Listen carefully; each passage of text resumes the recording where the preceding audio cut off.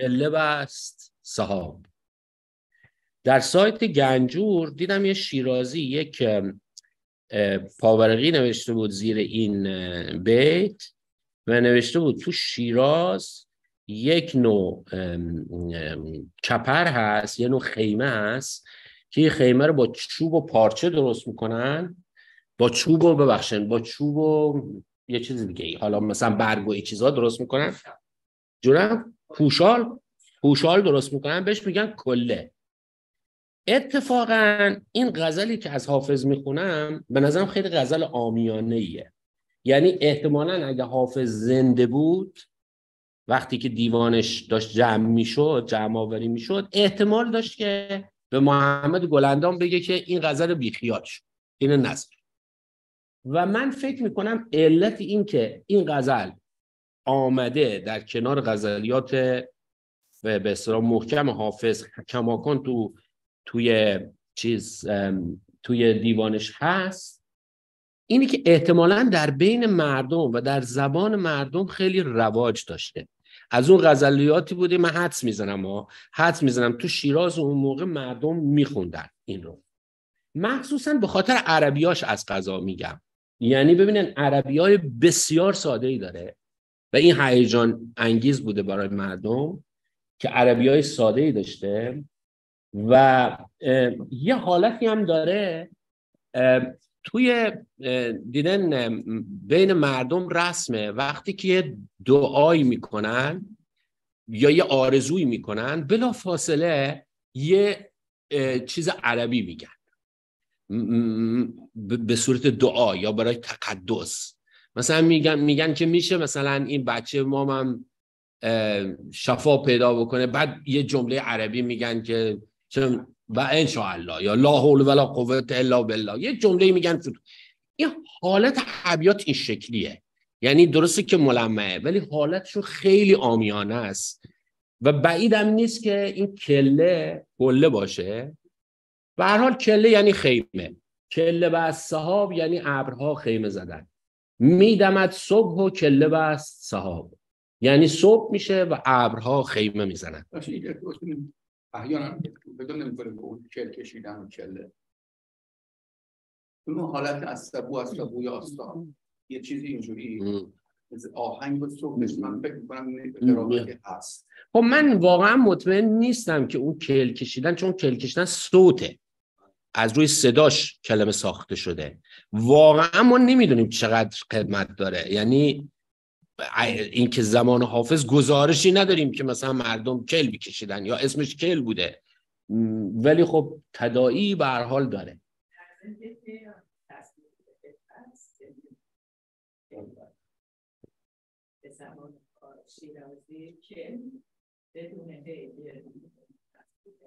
آره ولی هنوز می‌تونی کله به معنی کل باشه ولی میفهم چی میگه.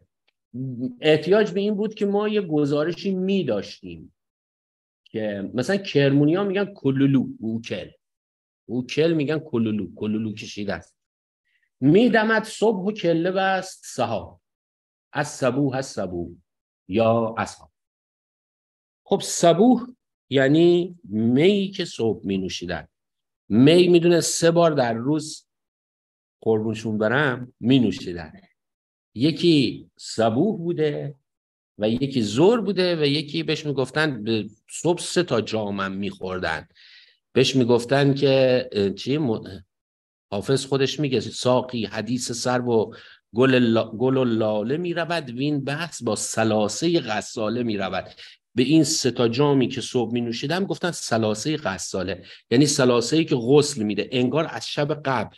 یک دردی تو سر میمونده و باید حالا اینو میشستن میبردن پایین. صبح بلند می‌شدن یه سبوهی می‌زدن که این بر پایین. حافظ یه جا میگه ای گل تو دوش داغ سبوهی کشیده ای. ما آن شقایقیم که با داغ زاده ایم. می‌خواد بگه که ما خیلی خدمت داریم تاریخچه داریم.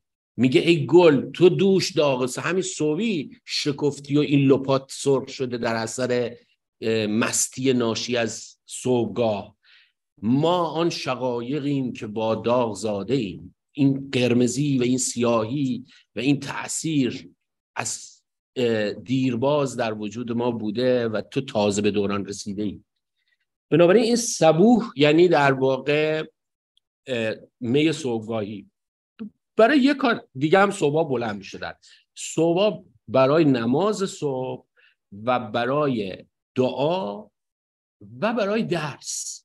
یعنی خیلی از روحانیونی که مدرس بودن قدیم اینا صبح خیلی زود درس می‌دادن. یعنی بعد از نماز صبح آدما می‌رفتن پلوشون مثلا درس درس می‌گرفتن. خود حافظ میگه ما درس سحر در ره میخانه نهادیم. صبح بلند شده بوده بره خدمت شیخ درس می‌گیره گفته حالا می‌خونم که بازه. حالا چه کاریه ما؟ بریم اون ور رفته بوده اون محصول دعا در ره جانانه نهادیم همچه چیزی. میدمد صبح و کله بس صحاب از صبوح از صبوح یا اصحاب. میچکد ژاله بر رخ لاله. المدام المدام یا احباب. میوزد از چمن نسیم بهشت. آن بنوشید دم به دم می ناب تخت زمرد زده است گل به چمن. این تنها موردی هست که من می‌بینم مخفف زمرد شده زمرد. در لغتنامه هم نگاه کردم در, در فرهنگ معین نگاه کردم.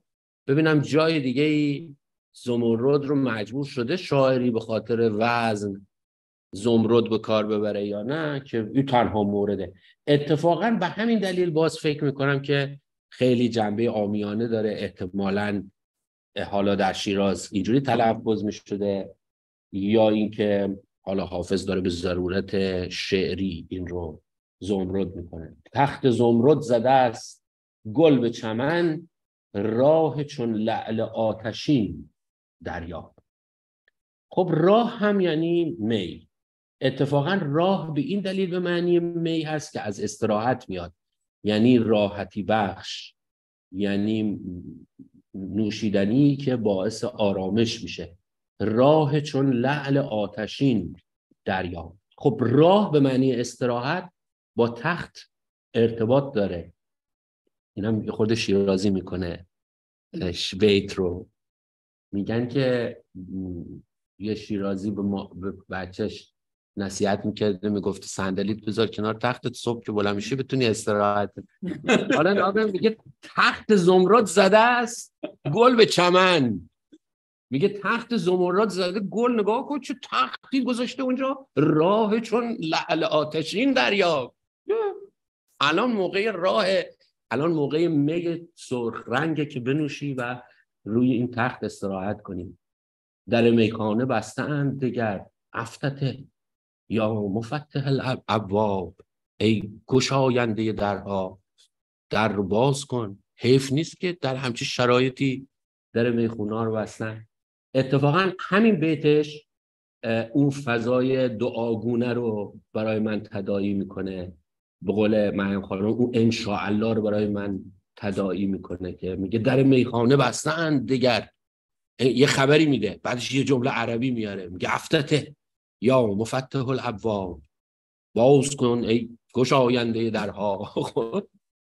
و این اینها باز دوباره به نظر من کاملا فضای آمیانه داره. اگرچه عربی است ولی فضای آمیانه و دلچسبی داره. که باز از نظر تاریخی من رو میاره به دوره مزفری یعنی به نظرم این باید قاعدتا بعد از اون غزل سروده شده باشه. یعنی اون غزل حافظ جوانتر بوده. الان یه چند سالی از اون گذشته و مثلا چهار پنج سال از اون غزل گذشته حافظ احتمالا الان تو اردر مثلا سی و هفت سال داره. لب و دندانت را حقوق نمک هست بر جان و سینه های کباب این رو من ندارم اینجا. من اینو ندارم.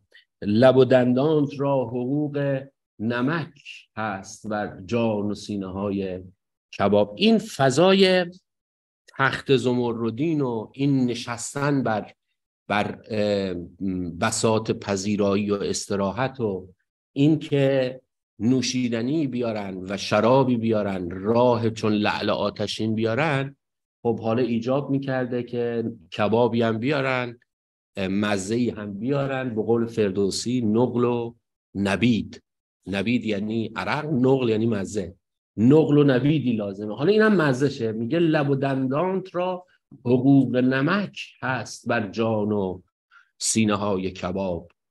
و میگه که چقدر جان و سینه های کباب ما حق نمک لب و دندان تو رو دارد و در ضمن درش یه یک تلخی هم هست یک شوربختی هم هست. به خاطری که نمک پاشیدن بر زخم زخم رو آزرده می‌کنه زخم رو که خوب نمی‌کنه. و میگه که لب و دندان چقدر حق نمک دارن بر سینه های ریش ما. یعنی چقدر سوختیم به خاطر لب و دندان تو. در فقدان لب و دندان تو. در دوری از لب و دندان تو. انگار نمک پاش دل ریشم به قول بابا تاهر به قول بابا تاهر میگه نمک پاش دل ریشم چرایی. این تو انگار لب و دندانت یه چنین کاری کردن. و در ضمن داره تدایی می‌کنه اون فضای کباب خوردن سر اون میز رو. این چنین موسمی عجب باشد که ببندند میکده به شتاب. میگه من نمی‌دونم این امیر مبارزدین چقدر بیشعوره که میره در همچی شرایطی میره در می‌خونه رو میبنده. و خب البته پسرش بعدها شد خاتمی و یکم اوزار یک کم در زمان شاه شجاع عوض شد و اون دوره خمینیزم امیر مبارزالدینی تمام شد. ولی به هر حال اولش که خیلی سخت بود و حافظ میگی محتسب خم شکست و من سر او. و خلاصه همه چیز رفت به سمت خمشکنی و بستن می، میکده ها و می‌خونه ها و حد جاری کردن و معروف هست که امیر مبارز زدین قرآن میخونده وسط قرآن خوندنش یه محکوم به مرگ رو میارن.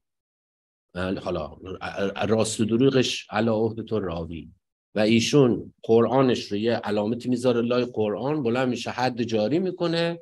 و بعد دوباره میشون به قرآن خوندن. این چنین موجود خطرناک و رزلی بوده. به هر حال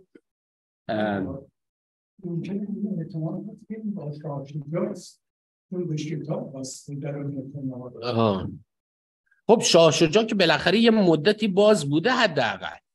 اولی که شاه شجاع میومد آه ممکنه. اگه اون باشه که دیگه میشه دوری بعد از امیر مبارزالدین یعنی زمانی که شاه شد شاه شجاع اومده.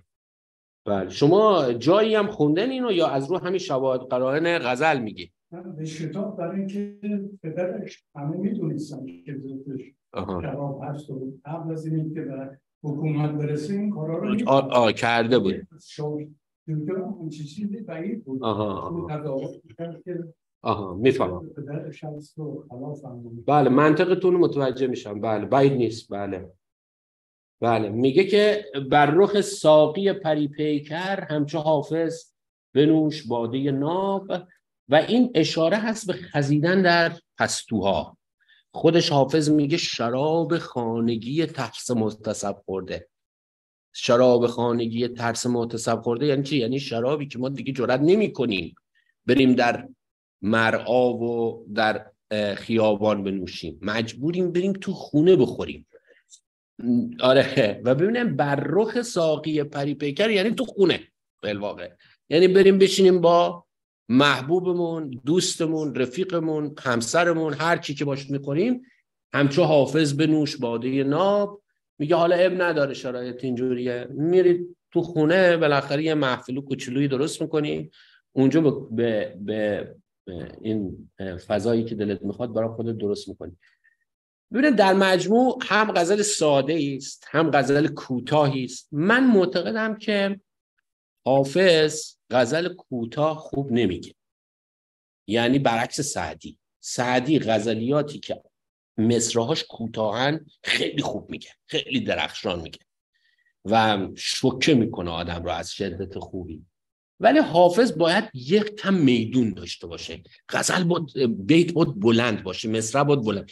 حافظ احتیاج به میدون داره. میدون بهش امکان بازی های زبانی میده و او خیلی خوب میشه.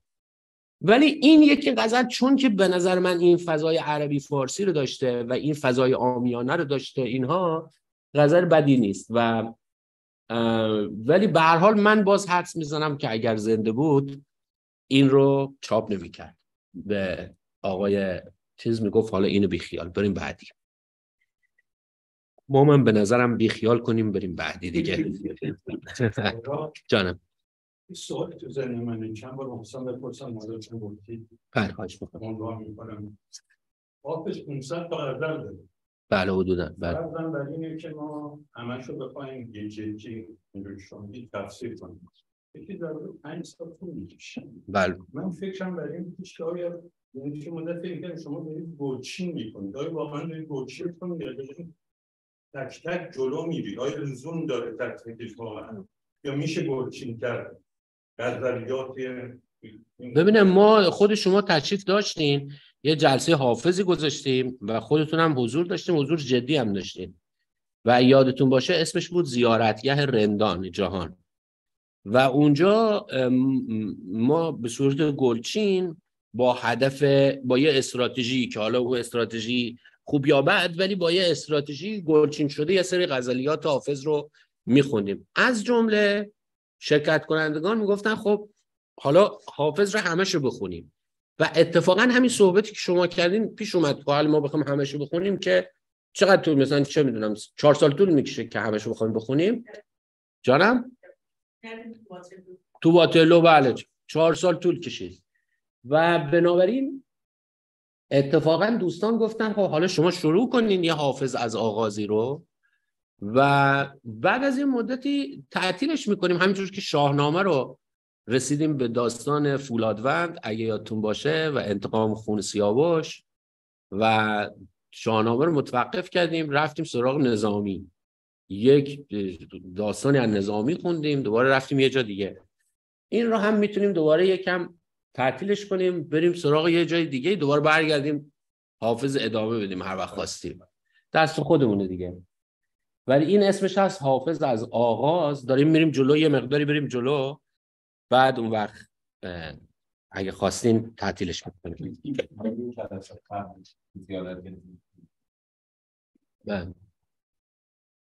و من این اتفاقا در من همش دارم ویدیوها خودمه گوش میدم. ذره میگه تو خسته نمیشه حرفا خودت گوش میدم بعد حالا از قضا همش میرم اینو گوش میدم. یعنی این زیارتگاه رندانجان خیلی از شما هم حضور دارین و خیلی هم خاطر انگیزه و صحبت زیاد اونجا. همه حرف می‌زنن.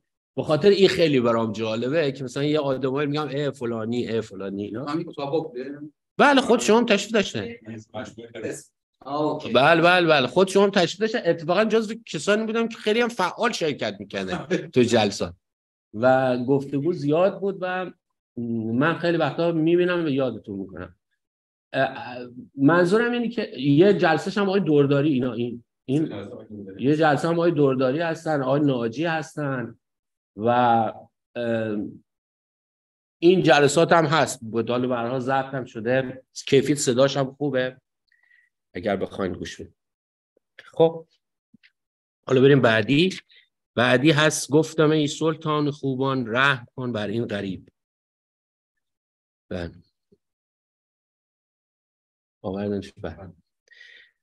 گفتم ای سلطان خوبان رحم کن بر این غریب. گفت در دنبال دل ره گم کند مسکین غریب. گفتمش مگذر زمانی گفت معذورم بدار. خانه پروردی چه تا بارد غم چندین غریب.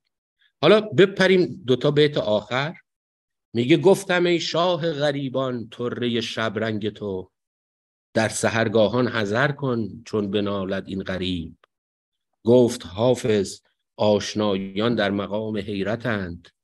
دور نبود گر نشیند خسته و غمگین غریب. آره غمگین بهتر مسکینه چون مسکین قبلا داره تو بیت اول گفت در دنبال دل رحم کند مسکین غریب. این بهتره که غمگین باشه. اما ببینن من ببخشید که اینجوری جراحی می‌کنم غزل رو خراب می‌کنم چون می‌دونم شما دوستان غزل خونده بشه غزل بشنوید. ولی علتش این هست که این تو دو تا بیت آخر و دو تا بیت اول صنعت از سوال و جواب داره. یعنی گفتم گفت داره. و گفتم گفت می‌دونن یه تکنیکه که توی این تکنیک شاعر معمولا گفتمش خیلی ساده لوحانه است ولی گفتش خیلی دندان شکن و زیرکانه و جوابهای آنچنانی است. و حافظم خیلی این از سوال و جواب رو دوست داره. و مثلا میگه گفتم غم تو دارم. گفتا غمت سرابه یعنی جواب خیلی تنده. مثلا ساده لوحانه مثلا یه یه نفر رسیده به یکی گفته که گفتم غم تو دارم. طرف میگه انشالله غمتون تمام شه خب؟ یعنی طرف یک جوابی میده که این یا مثلا میگه گفتم ز مهرورزان رسم وفا بیاموز. ببینه رفته به یه نفر داره میگه که میشه از آدمای اهل محبت از آدمای متعهد یکم وفاداری یاد بگیری؟ خب طرف باید بگه که مثلا تو وفاداری بلد نیستی من وفاداری بلدم. یا بگه که باشه میرم یاد می‌گیرم. خب مثلا هم چیزی باید بگه. ببینید چی جواب میده. میگه گفتم ز ورزان رسم وفا بیاموز. گفتا ز خوب رویان این کار کمتر آید. یعنی تو هم خوشگل بودی وفادار نبودی. من چون خوشگلم وفادار نیستم. تو که تو زشتی معلومه توی بد ترکیب باید وفادار باشی. اگه وفادار نباشی چی باشی؟ خب ببینید جواب خیلی دندان شکنه. یعنی این این تکنیک گفتم گفت خیلی حافظ دوست داره و این ببینن چیزیه که اتفاقا یکی از جنبه های رندی مفهوم رندی رو تو حافظ می‌سازه. رند یعنی یکی یک کسی که از جمله جواب دندان شکن میده. به موقع حرف می‌زنه خیلی خلاصه حرف می‌زنه و خیلی تمیز جواب میده و اینها. حالا امروز خیلی حرف مادرم زدم. من مادرم اینجوری بود واقعا. مادرم چاق بود. و تو خیابون یکی بهش گفته بود از کدوم قصابی گوش می‌خری؟ یه مردی می‌خواسته مثلا اذیتش کنه. گفته بود که هم قصابی تو استخون می‌خری. خب اونم خیلی لاغر بودی یعنی این حاضر جوابی که به موقع مثلا یه حرفی بزنی طرف آچمز بشه نه؟ این حالت توی این غزل هم هست. نکنه تو بیت آخر مخصوصا. میگه که گفت گفتم ای شاه غریبان طره شبرنگ تو. شام غریبان. گفتم ای شام غریبان طره شبرنگ تو. یعنی موهای سیاه تو مثل شام غریبان سیاهه. شام غریبان یعنی اولین شب جدایی. اولین شب جدایی هم خیلی تلخه. خیلی تلخه. کسانی که سربازی یا زندان رفتن می‌دونم من چی میگم. شام غریبان اولین شبی است که میری تو پادگاه. و یه فکر کنه یه بچه جوان 18 ساله ای اولین بار کلش تراشیدن میبرنش یه جایی میکنش توی اتاقی میگم برو اوجه بخوابی تختت. این به شام غریبان. و در و دیوار دارن فرو میریزن. نفس نمیشه بکشی از شدت گرفتگی. خب؟ زندان هم همینجوره. زندان خیلی شب اولش سخته. خیلی. میگو گفتم ای شاه شام غریبان طره شب رنگ تو. موات عین شب شام غریبان سیاه. در سهرگاهان حذر کن چون بنالد این غریب. میگه نه آقا یه غریبی داره تا صبح میناله. یه بدبختی داره من از خاطر تو تا صبح زجه می‌زنه. اصلا توجه کن. گفت حافظ آشنایان در مقام حیرتند. آشنا یعنی صوفی. گفت میگه نمی‌دونی صوفیان از مقام حیرت عبور می‌کنن؟ می نمی‌دونی در این سلسل مراتبی که میرن به فلان برسن مرحله طلب دارن و مرحله فلان دارن و آخر دفعه می‌رسن به مقام حیرت؟ دور نبود. گر نشینت خسته و مسکین غریب.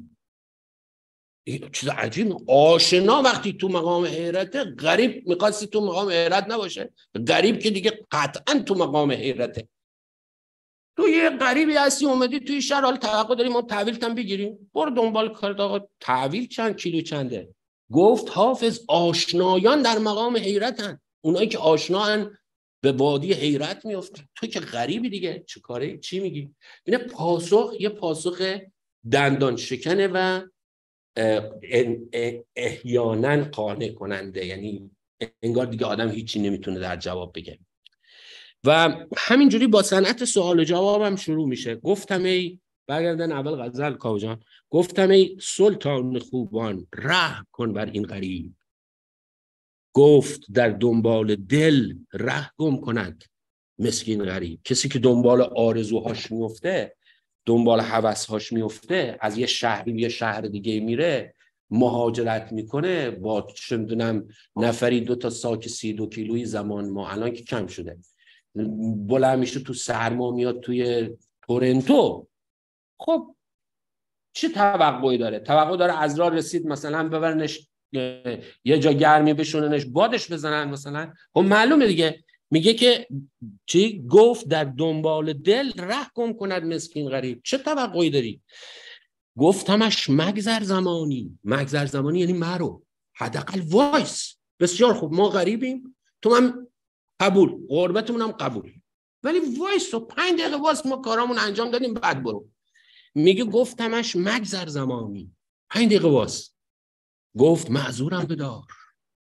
خانه پروردی چه تاب آرد غم چندین غریب؟ یه مشت غربتی اومدن منم دارم داره گرفته ما نمی‌تونم وایسم. گور بابا تو. نه؟ خانه پروردی یعنی ناز پرورده ای چه تاب آرد غم چندین غریب؟ یه مشت غریب اومدین اینجا؟ به منم میگی وایس. من چجوری تحمل کنم؟ ببینن در واقع خیلی با این تکنیک بازی گفتم گفت و از سوال و جواب هم شروع میشه هم به پایان می‌رسه. حالا از نظر شکلی. حالا بخونیم غزل رو از اول ببینیم به لحاظ محتوایی چی می‌خواد بگم خفته بر سنجاب شاهی نازنینی را چه غم؟ گرز خار و خاره سازد بستر و بالین غریب. ای که در زنجیر زلفت جای چندین آشناست خوش فتادان خال مشکین بر رخ رنگین. غریب. این غریب اینجا یعنی عجیب. می نماید عکس می در رنگ روی محوشت همچو برگ ارغوان بر صفحه نسرین. غریب. اینجا یعنی عجیب. بس غریب افتاده استان مور خط گرد رخت. گرچه نبود در نگارستان خط مشکین غریب. گفتم ای شام غریبان طره شبرنگ تو در سهرگاهان حذر کن چون بنالد این غریب. گفت حافظ آشنایان در مقام حیرتند. دور نبود گر نشیند خسته و غمگین غریب. و خیلی تکنیکی همینجور که گفتم حافظ وقتی ابیات مصرها بزرگ میشن قدرت نماییش دیگه شروع می‌کنه. و شروع می‌کنه به اصطلاح مزامین خیلی شاعرانه پرداختن و خفته بر سنجاب شاهی. سنجاب پوستی بوده که به اصطلاح دو های سلطنتی و جاهای خیلی گران قیمت و رخت های خیلی فاخر ازش درست می شده نازنینی را چه غم؟ کسی که روی شرایط راحتی هست گرز خار و خاره سازد وستر و بالین.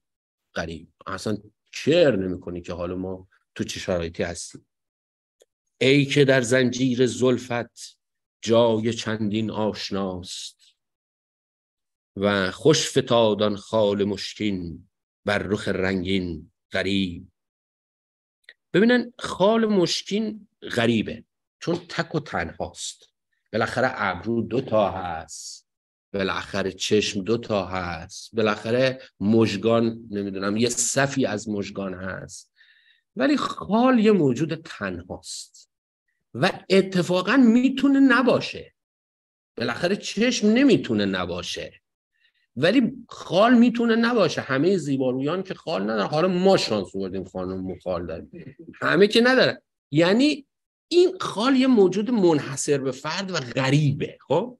حالا نها کنن میگه که ای که در زنجیر زلفت جای چندین آشناست. ما کسی رو نبوده توی شهر نشناسیم که این تو زلف تو گرفتار نشده باشه. دلی نیست که شیدای تو نشده باشه. زندانی زندان زلف تو نشده باشه. همه آشناها اونجا هستن. خب؟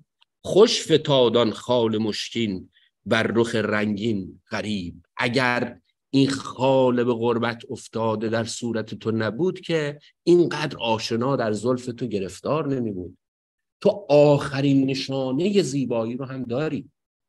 بالاخره همه خوشگلن. ولی وقتی که خدا خوشگلا رو می آفرید نگاه می‌کرد تو صورتشون می‌دید اه چقدر خوشگلن. ولی یه چیزی کم دارن. خدا هم نمی‌دونست اینا چی کم دارن.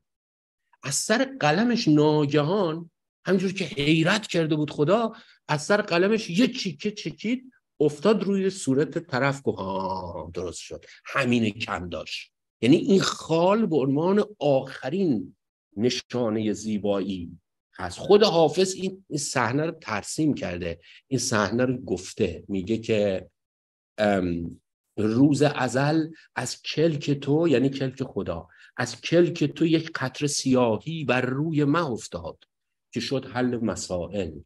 یعنی روی ما خوشگل بود. ماه بود. ولی یه چیزی کم داشت و مشکلی وجود داشت. مسئله وجود داشت. خدا نمی‌فهمید دیگه چیکار کنه. دیگه از اینکه خوشگلتر نمی‌تونه بیافرینه. بعد یه خالی افتاد و بنابراین این خال به غربت افتاده. این خالی که قرار نبوده اونجا باشه. حالا اونجاست. این زیبایی رو به کمال رسون و اون وقت طبیعیه که در همچی شرایطی هزار تا دل توی اون زلف گرفتار خواهند شد. ای که در زنجیر زلفت جای چندین آشناست. خوش فتادان خال مشکین بر رخ رنگین غریب. و رخ رنگین هم اشاره به صورتهای سرخابی رنگ و رخ به اصطلاح لالگون یا رخ صورتی گلگونه. می نماید عکس می در رنگ روی محوشد ببینن ما عادت کردیم که حافظ ساقی رو توی جام ببینه. یعنی به نظر اون می‌رسه که جام یه آینه است و ساقی تصویرش میفته تو جام. ولی برعکسش هم هست. حافظ شراب رو هم در ساقی می‌بینه. مثلا یکیش میگه آن روز شوق ساغر می خرمنم بسوخت. کاتش ز روی آرز ساقی در آن گرفت. یعنی می اینقدر هم هیجان انگیز نبود. این عکس ساقی افتاد توی اون و آتشی درست شد. ببینه آن, آن روز شوق ساغر می خرمنم بسوخت کاتش ز روی آرز ساقی در آن گرفت. آه راست میگن اینجا باز بازم میشه همون. راست میگن راست میگن بازم میشه همون. خب نه مثال خوبی نگفتم راست میگن ولی این اینجا در این بیتمون برعکسه. ببینم میگه می نماید عکس می در رنگ روی محوشد عکس یعنی باستاب باستابش. میگه که عکس می میفته تو صورت تو. همون برهم کنش دو خواهش که گفتم. یعنی صورتت همینجوری خوشگله. وقتی که یه پرتوی از می هم یا یه تصویر یا سرخی از می هم در اون میفته دیگه این ضرب در هزار میشه. همچو برگ ارغوان بر صفحه نسرین غریب. همینجوری که توی طبیعت عکس ارغوان میفته روی نسرین نسرین سفیده و ارغوان ارغوانی رنگ دیگه قرمز رنگ. میگه وقتی تصویر اون میفته روی اون اون زیبایی دیگه هزار برابر میشه. بله مثال مثال خوبی نبود. اونم دوباره همون برعکس اونه. بس غریب افتاده استان مور خط گرد رو خط. این در مورد مور خط یک غزلی هست از چیز آقای خاجو می‌تونه پیداش کنه. خاجو کرمانی اون کمک می‌کنه این داستان مور و اصلا همین تصویرسازی هایی که داره حافظ می‌کنه یه مقدار تحت تاثیر غزل خاجوه من مصر اولشه.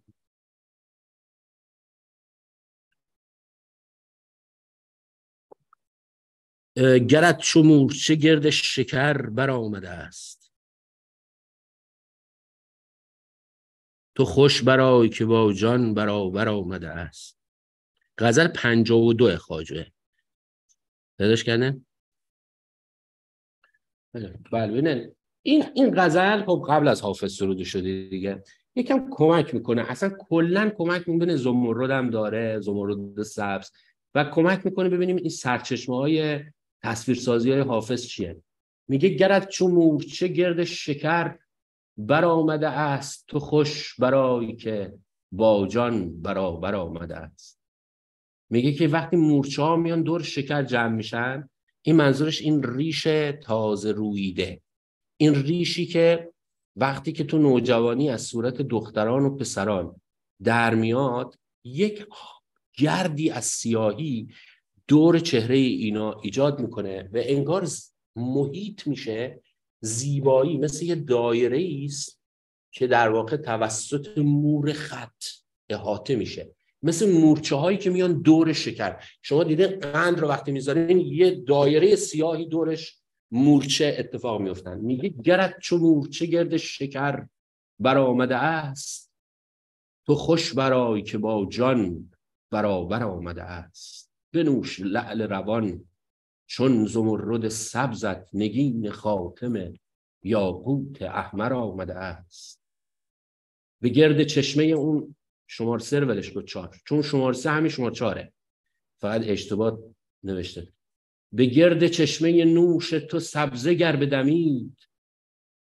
ترش مشو که نبات از شکر برآمده است. ز خط سبز تو نسخم خوش آمدی. خطاتم بوده آقای خواجو نسخم می نوشته خوش آمدی و کنون خط غبار تو. خود زان نکوتر آمده است. خط غبار خطاتا می‌دونن یعنی چی. یعنی در واقع یک خط بسیار ریزی که اصلا بعضی موقع من خودم خط و غبار دیدم سختم بوده. بود البته الان که واقعا نمی‌تونم بخونم. چون باید ذره میگن عینک بزنم. ولی همون وقت که چشمم خوب بود خط و غبار رو نمی‌شد خون. خط و غبار خیلی ریزه. بعد این موهای دور صورت معشوق رو خط و غبار تصویر کرد. میگه ز خط سبز تو یعنی همین ریشت. ز خط سبز تو نسخم خوش آمدی و کنون. خط غبار تو خود زان نکوتر آمده است. تو خوش درا و مشو در خط از من مسکین. در خط شدن احتمالا یعنی خشمگین شدن. تو خوش درا و مشو در خط از من مسکین. که خط به گرد آرز تو خوش به گرد که خط به گرد ازار تو خوش در آمده است. ببینید چقدر این تکیش روی خطه؟ یعنی انگار اوج زیبایی این دمیدن خط است. تو اینکه میگن شعر فارسی شعر مردانه است و اینکه میگن معشوق حافظ معشوق بیشتر حالا معشوق حافظ یا معشوق ادب فارسی بیشتر یه معشوق مردانه است. نگاه کنه از اول این غزل تا تای غزل اینقدر اصرار داره روی این خط. بقیه جلوه های زیبایی رو رها کرده پیله کرده به این خطی که حالا گرد این صورت این دمیده. ببینن میگه که تو خوش درا و مشو در خط. عصبانی مشو از من مسکین که خط به گرد ازار تو خوش در آمده است.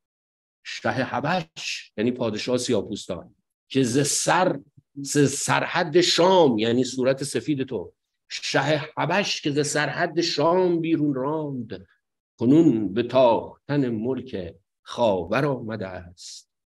ز سهم ناوک ترکان غمزت گویی که هندویی است که نزد زرهگر آمده است. زرهگر شغلی زرهگری و هندو یعنی سیاپوست و ترک یعنی سفید پوست میگه ز سهم ناوک یعنی ناوک یعنی این موجه. ز سهم ناوک ترکان غمزت گویی که هندویی است که نزد زرهگر آمده است.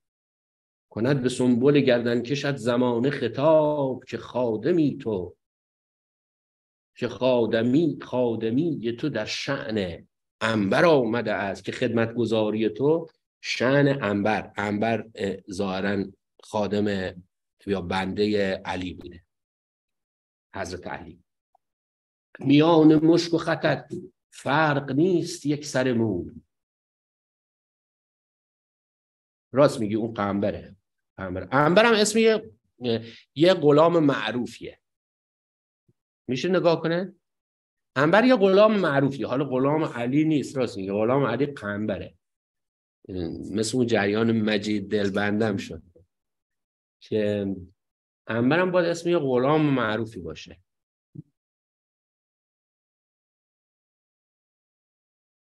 که خادمی تو در شق خود لغت انبر انبر یه ماده خوشبوه مثل عبیر که از مواد دیگه ساخته میشه.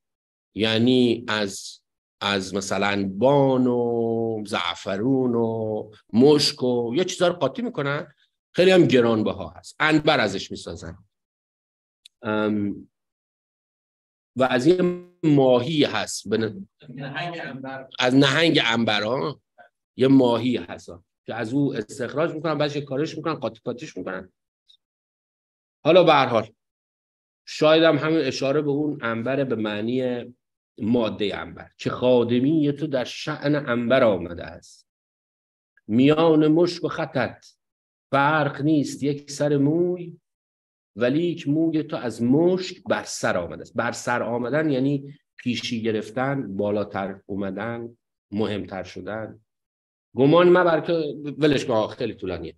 منظورم این که نگاه کنید این خط سبز و این خط اصلا از علائم زیبایی و اشاره به مورچه و مور خط می‌خواستم ببینید که قبل از حافظ هم در شیراز اون موقع چون خاجوم هم شیراز بوده. خود خاجو می‌دونن که در ارتفاعات الله اکبر شیراز خاکه یعنی درواز قرآن. قبر خاجو هم همونجا هست. میگن خاجو می‌گفته که تن خاجو غریبانه به شیراز به تنگ افتاده است. الله اکبر. یعنی اشاره به تنگ الله اکبر. و خلاصه جونم؟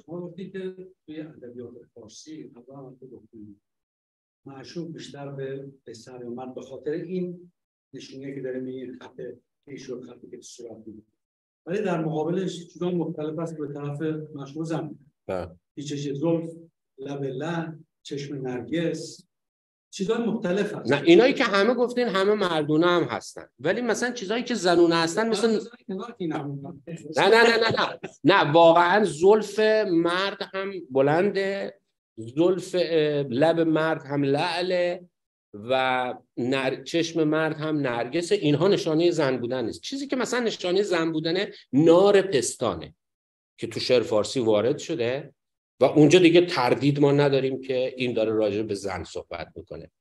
ولی اونهایی که شما برشمردین نه. خیلی جا هست که داره مشخص اصلا معشوق مرده ولی از چشم نرگسش میگه از زلف بلندش میگه اینها میگه و همش مرد. ببینن علتش این اینه که در واقع مردان در عرصه عمومی حضور فعال داشتن ولی زنان در عرصه عمومی حضور فعال نداشتن. معشوق باید قابل وصف باشه دیگه. یعنی معشوق باید سوار سواری کنه شطرنج بازی کنه نرد بازی کنه می بخوره بزلگو باشه بگه بخنده. خب این چیزا چیزی نبوده که به معشوق زن بشه نسبت داد. معشوق زن اغلب خانگی بوده اغلب بس پردگی بوده. بسرا خود حافظ یه جا تعبیر می‌کنه به حریف خانگی. میگه که معشوق خانگی حالا یادم رفته بیتش رو. یعنی کسی که در واقع سر سفره باباش نون خورده و تو خونه بوده و سیاسفید ندیدتش. یه جا هست توی شاهنامه که تازه زنان شاهنامه خیلی عاملیت دارن و آمریت دارن و شمشیر دستشون می‌گیرن و نم چه می‌کنن و با سهراب جنگید و گرد آفرید و اینها ولی منیژه وقتی که می‌خواد از خودش تعریف کنه میگه که منیژه منم دخت افراسیاب برهنه ندیده تنم آفتاب. آفتاب من ندیده. یعنی در واقع این پردگی بودن و پوشیده بود. خب این که نمی‌تونه تو شعر فارسی برمان معشوق یه چنین موجودی وصف بشه. چجوری وصفش کنن؟ وصف باید چیزی رو بکنیم که میبینیمش. حضور داره سواری می‌کنه میرقصه می‌خونه ساز می‌زنه و اینها سخت بوده نسبت دادنش بزنیم. اتفاقا وقتی که در شاهنامه چنین معشوقهایی داریم در نظامی چنین معشوقهایی داریم که زنن و هم نوازندگی می‌کنن هم رقاصی می‌کنن هم خوانندگی می‌کنن هم جنگجو هستن. اینها اتفاقا خیلی شکوهمنده. و این جزو بخشای خیلی درخشان این این متن ها میشه به همین دلیل. چون عموما تو شعر فارسی این معطوف این نگاه معطوف به مرده.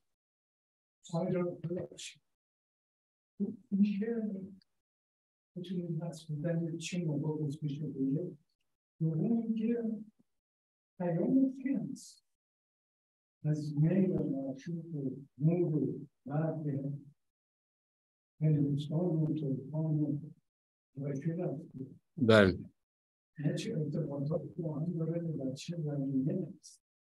ببینن در توضیح این من یه وقتی نوشتم که این غزل توصیف غرابت و زیبایی و غرور و سربلندی معشوق است. که با گفت و شنیدی آغاز می شود و با گفتگوی مشابهی به اتمام می هر دوی این گفتگوهای خیالی بر پذیرش عاشق و معشوق همان گونه که عموما توصیف شده اند تاکید دارد. یعنی معشوق همان است که هست عزیز مغرور و شگفتانگیز و عاشق نیز همان است که هست یعنی خسته و غریب. راه گم کردن عاشق امری مسلم است. و دور نباشد که در این گمگشتگی خسته و غمگین نشیند اما معشوق خانه پروردی است که غم غریبان ندارد بر سنجاب شاهی خفته است و, و به ناهمواری خوابگاه غریبان اعتنایی نمی کند. در میان این گفتگوها وصف زیبایی معشوق و توجیه فتنه است که در جان عاشق افتاده است و از قضا معنی غریب نیست در این سه یعنی بیت چار و پنج و شیش با ابیات دیگر فرق داره. این توضیحی که به نظر من رسیده بود یا وقتی در رابطه این نوع پرسش شما که این غزل کلا چی می‌خواد بگه؟ کلا می‌خواد به نظر من عشق رو توصیف کنه معشوق رو توصیف کنه و عاشق رو توصیف کنه. جایگاه عاشقی رو بگه جایگاه معشوقی رو بگه. یعنی برای حافظ مسئله عشقی که از دغدغه هاست ترسیم تصویر و ترسیم یک صحنه عاشقانه و ارائه یک صحنه عاشقانه یکی از مزامین شعری حافظه. حافظی صحنه رو دوست داره. دوست داری صحنه رو توصیف بکنه. و اتفاقا حالا که میگن سنش رو بگو به نظر من این در جوانی حافظ سروده شده. وقتی که حافظ هنوز خیلی امیدوار بوده و خیلی حال و, حال و هوای به اصطلاح شاعرانه عاشقانه شاعرانه نه عاشقانه ای داشته این رو گفته. من به نظرم این باید از باز غزلیات دوره جوانی حافظ بشه.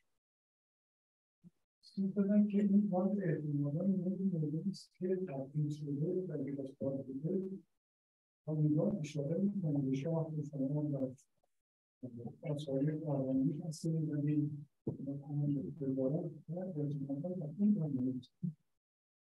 اگرم باشه خیلی به اصطلاح گنگه. یعنی به ما کلوی روشنی نمیده. یک راهنمایی روشنی نمی‌کنه که واقعا داره به یک مثلا شاه یحیی یا داره به شاه زین العابدین یا شاه منصور بعد از بعد از شاه شجاع اینها بودن دیگه. مخاطبان حافظ که در حافظ در زمان شاه منصور فوت می‌کنه. هیچ کدوم از اینا به این دوره ها نمی‌خوره. و یه مقدارم به نظر من اصلا ردیف غریب که حافظ انتخاب کرده ردیف سختیه. و حافظ توی پیری همچین ردیفی رو انتخاب نمی‌کرد. چون شعرش خیلی روان و خیلی پخته شده بود. احتیاج به به شکلهای عجیب غریب برای پرداختن مزامین شگفت انگیز نبود. در جوانی بود که این نوع تجربه ها رو به نظر من می‌کنه من نظر شکل ظاهر غزل فکر می‌کنم در جوانی حافظ. ولی حالا اون نکته هم که شما میگین جالبه. فکر می‌کنم دیگه اصلا کافی باشه. وقتم نداریم. اگر اجازه میدن هفته آینده که میشه همین هفته یعنی جمعه ادامه میدیم